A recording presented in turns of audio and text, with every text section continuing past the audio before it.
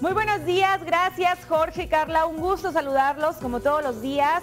Gracias a toda la gente que nos acompaña desde bien tempranito. Aquí en las noticias, las 7 ya con 8 minutos, listo el avance del pronóstico del tiempo. Aquí en el centro de la ciudad de Monterrey, la temperatura hasta el momento los 25 grados, viento en calma, humedad en 73% y la presión marca los 1012 milibares. Pero como amanece en el área metropolitana, las temperaturas se registran desde los 21 grados.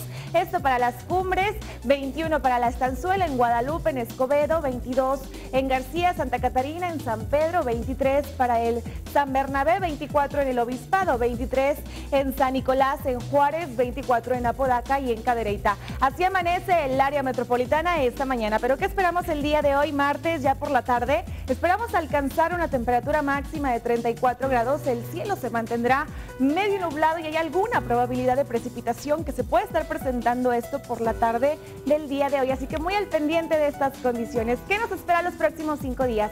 Vaya organizando muy bien todas sus actividades, su semana. Para el día de mañana, miércoles, mismas condiciones de cielo. Para miércoles, jueves, viernes y sábado, nuestro fin de semana, se incrementa la nubosidad, probabilidad de precipitación y actividad eléctrica se puede estar presentando. Ya el domingo, medio nublado, al parecer desaparece la lluvia, temperaturas de 22 a 23, máximas para el día miércoles y jueves alcanzando los 33. Ya para el día viernes terminamos la semana con 32 grados y ya para sábado y domingo alcanzando los 31 como máxima. La salida del sol el día de hoy a las 7.16, la puesta la esperamos 8.10 y el total de luz será de 12 horas con 54 minutos. Hasta aquí un avance del pronóstico del tiempo, regreso con más detalles en un momento más. Quédese con nosotros, vamos a un corte y regresamos a las noticias.